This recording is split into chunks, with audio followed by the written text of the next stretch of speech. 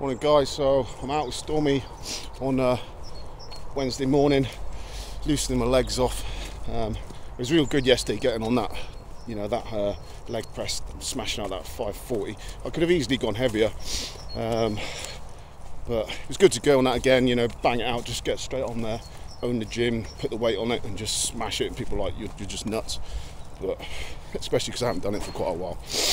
But yeah, it's good. So out with Storm, loosen my legs off before getting over to the gym again and uh, another functional session and then adding on some bodyweight movements at the end trying to really push my straight arm work and uh, lifts and control and holds and out running again later on with Storm.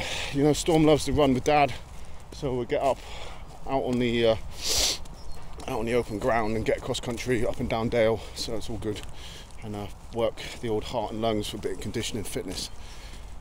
So yeah, I know the team's been out since early doors as they are every day, especially Tommy. He's out on it every, every day.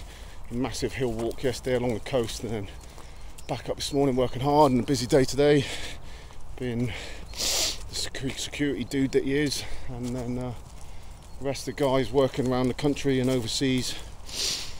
Uh, so where everyone is, train hard, make it happen, own the day and make sure you check out the new limited edition tee savage domination. That's going to be a beast of a tee so yeah get over to www.22smokinaces.co.uk check out the tee get involved. Limited edition running for the next few weeks. Then it'll be off in for print and sent out to everyone wherever you are. Um, so yeah get involved. We send internationally so get involved. Send it to all the guys military guys out there, BFPO. so yeah, savage domination, get involved.